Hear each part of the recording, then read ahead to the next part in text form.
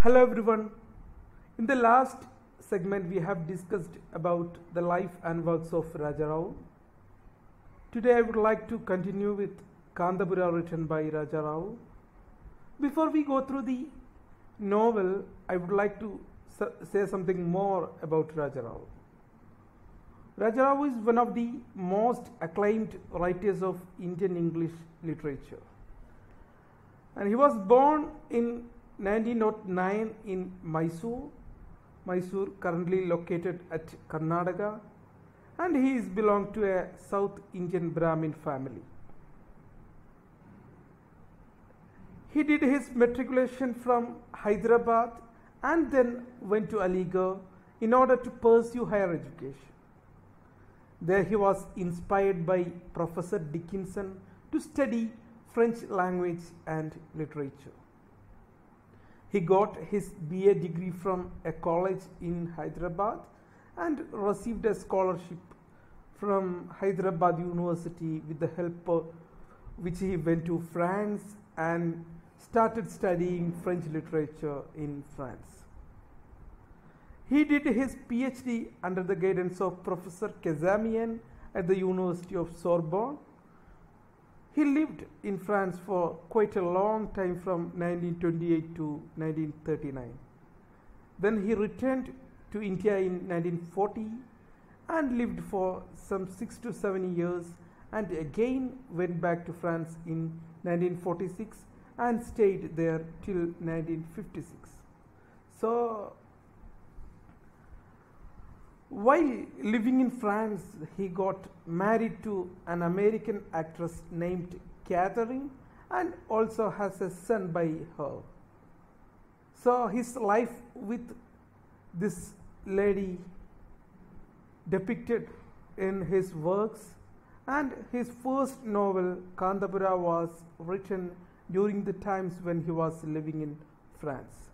Before going to France, Raja Rao wrote a number of essays to convey love for his nation and also show how fascinated he was by Indian culture and tradition and the philosophy of Vedas.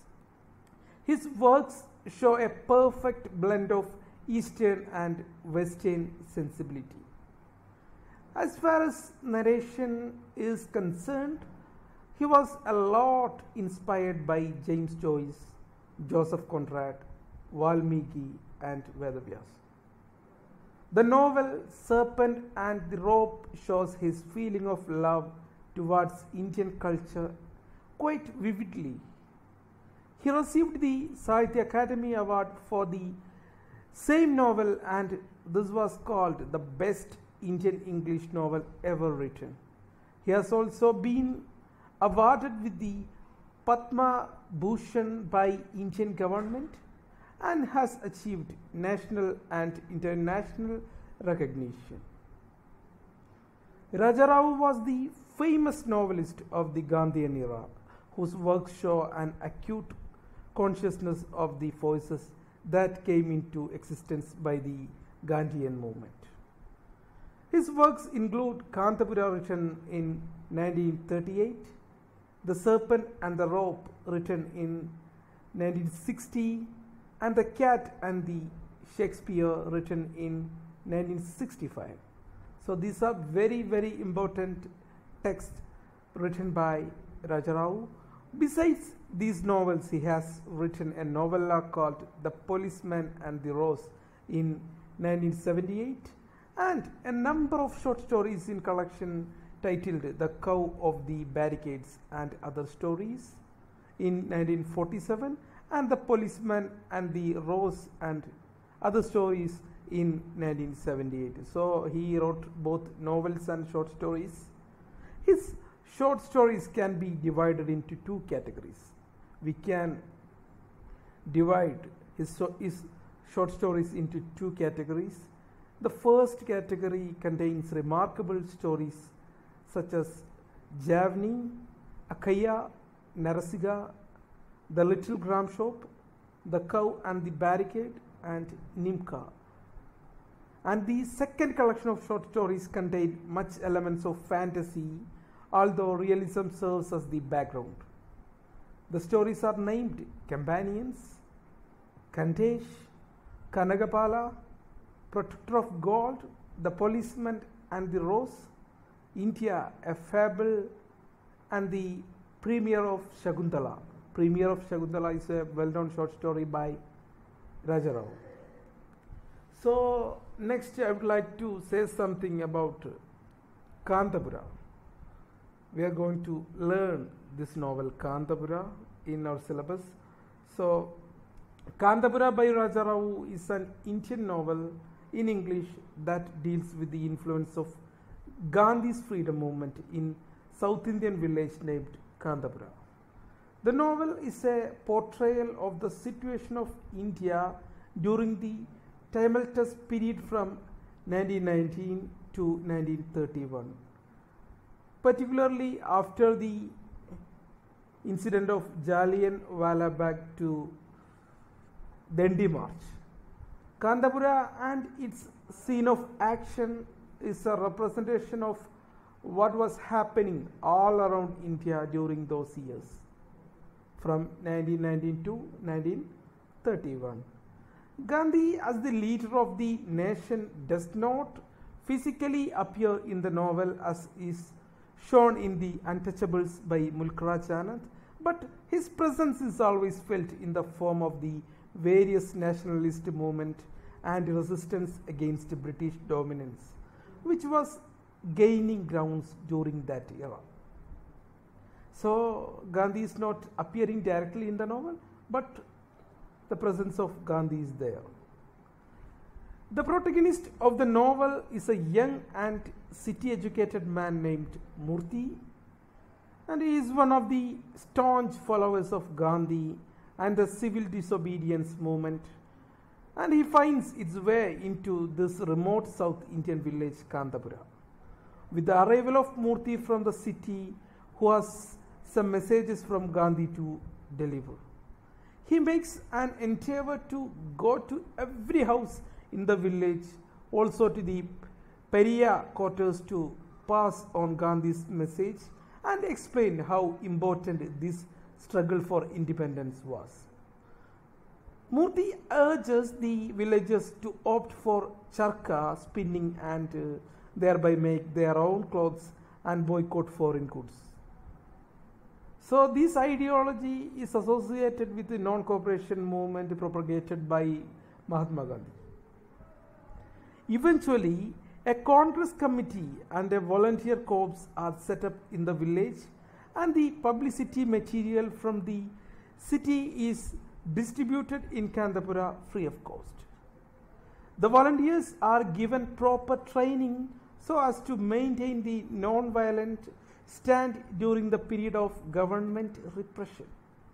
During the time when Murthy introduced the freedom struggle, he was supported by Ratna. Ratna was a progressive lady of the village and Patel Range Gowda who was the Patel in Kanthapura village. So some of them supported Murthy for his freedom struggle and the propagation of the philosophy by Gandhi. So the government tries to take firm steps in order to scourge the attempt of the followers of Gandhi and his principles and hinder the nationalist movement. People like Bedgan, Bhatta and Swami are the agents of the Britishers and oppose Murthy's freedom struggle strongly. There were some supporters in village and there was some op- opposition for Murthy's ideologies. So Murthy is also excommunicated by Bhatta and Swami for his m- meeting with the Pariahs. Although some people are affected, but the majority of the people remain high spirited regarding the freedom struggle movement. The news of Mahatma Gandhi's Dandi March and his breaking of the salt law reached the village and boosted the enthusiasm of the people of Kanthapura. Then the Satyagraha movement is evoked throughout the country, which also has a great impact upon the people of the village. Under the leadership of Murthy, the village organized Satyagraha outside the toddy plantation. As a reaction to this, the police took to lathi charging and a large number of people were injured. Some of them were sent to prison, but the movement did not stop. The villagers also adopted picketing outside the Skeffington coffee estate, and this time the opposition from the government was more severe. Most of them got wounded, and the repression did not spare women and children who were hurt seriously. This scenario deeply affected the feelings of the workers of the estate and they also participated in the movement. Slogan echoed in the place and people shouted like Mahatma Gandhi ki jai, Mahatma Gandhi ki jai. Many people were sent to jail including Murthy and a long term imprisonment was declared against them. During Murthy's absence, Ratna handles the working of the Congress in the village. A large number of women are drawn together and trained for the upcoming struggle for independence. The next move of the villagers is the no tax campaign, which was also initiated by Mahatma Gandhi. People are made aware of the fact that the British were unjustly taking land and revenues from the ignorant and poor people, and so they offer resistance against paying the taxes. The villages are motivated to carry on the movement peacefully and remain non-violent even the worst circumstances. But gradually violence breaks out and the government adopts ruthless measures to bring down the mob, to stifle the mob. They offer strong resistance against the merciless oppression but ultimately gave up their struggle. The villagers are compelled to leave and find refuge in remote village miles away from Kanthapura.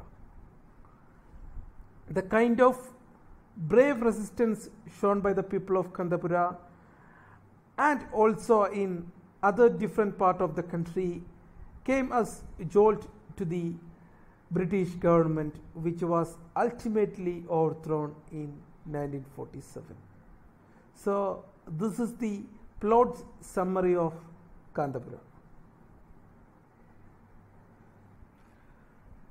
So we have discussed a lot of things in this lecture. So I am going to revise some details that we have discussed in this lecture. Raja Rao was born in 1909 in Mysore and he belongs to a South Indian Brahmin family. He did his, his he did his education from Hyderabad and then went to Aligarh in order to pursue her education and he was fascinated by Indian culture and tradition and the philosophy of the Vedas. His major works include Kanthapura, The Serpent and the Rope, The Cat and Shakespeare. Besides these novels, he has written a novella called The Policeman and the Rose in 1978 and a number of short stories in collections titled The Cow of Barricades and Other Stories. So later he received the Sahitya Akademi Award for the novel The Serpent and the Rope. And we have discussed about Kanthapura. Kanthapura is a novel by Raja Rao. It is an Indian novel in English that deals with the influence of Gandhi's freedom movement in a South Indian village named Kanthapura.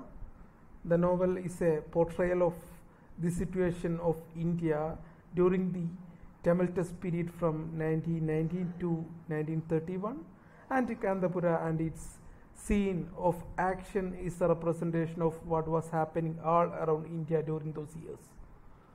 And Gandhi as the leader of the nation does not physically appear in the novel but his presence is always felt in the form of the various nationalist movements and resistance against British dominance which was gaining grounds during that era. And we have also discussed the protagonist of the novel is a young and city educated man named Murthy. He is, one of the staunch followers of Gandhi and the civil disobedience movement. Finds its way into this remote South Indian village Kanthapura with the arrival of Murthy from the city who has some messages from Gandhi to deliver and uh, we have discussed important themes and issues in the novel. Kanthapura offers a glimpse of nationalism in India under the leadership of Mahatma Gandhi. We see how Gandhi was able to hold almost the entire nation together and work towards the independence from British rule. As well as people from every part of India, even the remote village of Kanthapura, observed fasting and showed their integrity with Mahatma Gandhi as he initiated his Dandi March. And characters like Ratna and Rangamma stand for the women's section of the society who also took interest in nationalism. ഗാന്ധിയുടെ ഒരു വലിയ contribution ആയിരുന്നു അത് ഒരുപാട് സ്ത്രീകളെ nationalist മൂവ്മെന്റിലേക്ക് കൊണ്ടുവന്ന ഒരാളായിരുന്നു Gandhi there was a strong resistance seen towards the British government in the protest of the people in the form of dharnas, picketing, and uh, satyagrahas. And the narrative structure of the novel acts on two different levels. There is a main plot and a subplot of the novel, and both are fused together to make a complete sense of the text. The main plot is the Gandhian movement and its influence upon the village of Kanthapura, and the subplot deals with the incident of the Skeffington coffee estate and gives us a detailed account of the exploitation of Indian workers by the British people. So, this is all about the plot summary and the narrative structure of Kanthapura by Raja Ravu. In the next class, we will discuss about the characters in detail. So, see you soon. Thank you.